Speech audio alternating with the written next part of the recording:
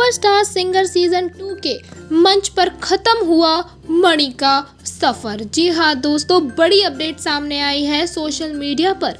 हर तरफ़ ये बात जमकर वायरल हो रही है कि मणि का सफ़र सुपरस्टार सिंगर सीज़न टू में अब खत्म हो चुका है। इसके पीछे बड़ी वजह एकता कपूर को बताया जा रहा है।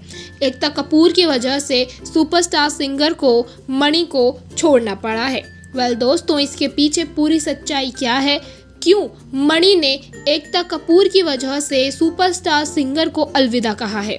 वो शो जिसमें मणि ने अपना नाम बहुत ऊँचा कर लिया था।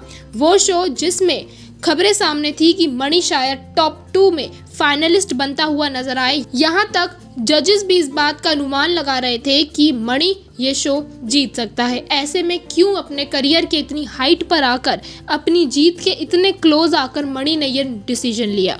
बताएँगे हम आपको full details well hello and welcome to Tele Talkies your one stop destination for all entertainment news well खबरें सामने आ रही हैं और इस खबर के पीछे जो पूरी सच्चाई है, वो ये है कि मणि ने शो को अलविदा नहीं कहा है, बल्कि एक एपिसोड को अलविदा कहा है। जी हाँ हर थर्सडे को शो की शूटिंग होती है। नए अपकमिंग वीक के लिए हर थर्सडे को शूट किया जाता है, लेकिन मणि को थर्सडे की जगह एक दिन लेट मणि का शूट होगा और एक दिन के लिए मणि सुपरस्टार सिंगर के सेट पर मौजूद नहीं होगा। ऐसा इसीलिए क्योंकि एकता कपूर ने मणि को सिंगिंग ऑडिशन के लिए बुलाया है।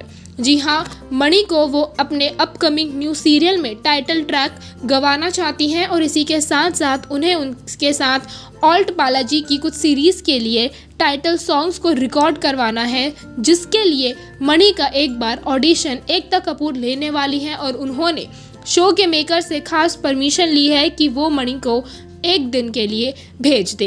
वेल well, वैसे तो मणि दो दिन तक वहाँ पे रहेंगे लेकिन जिस दिन शूटिंग होगी उस दिन भी मणि का काम एकता कपूर के सेट पर होगा।